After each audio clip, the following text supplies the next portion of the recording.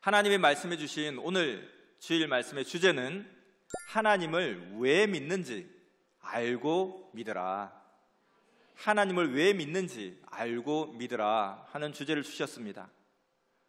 자, 우리가 하나님을 믿는 것은 너무나 잘한 일입니다. 그리고 정말 천만 다행이 아닌가. 그런데 이제 하나님을 믿는 거 잘한 일인데 이왕 믿을 때 왜 믿는지 제대로 알고 믿으면 훨씬 더 큰 은혜와 감동과 하나님의 축복이 있다는 것입니다.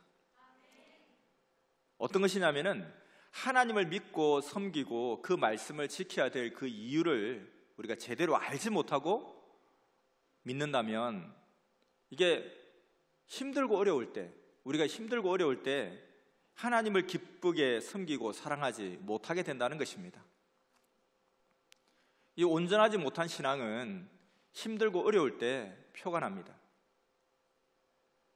그런데 하나님을 믿고 섬기고 그 말씀을 지켜야 될 그 이유를 제대로 알고 믿는다면 힘들고 어려워도 혹여 각종 어려움이 있다 할지라도 하나님을 믿고 섬기고 사랑하며 기뻐하게 된다는 것입니다.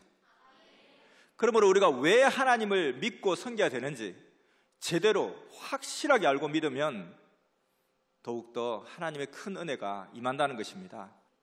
그 목적이 무엇입니까?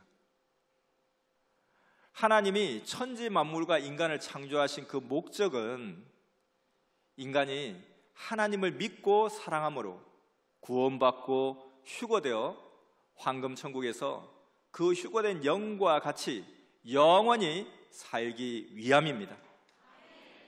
자, 이를 다른 말로 이야기하면 하나님이 천지 만물을 창조하시고 그 바라시는 목적이 무엇인가?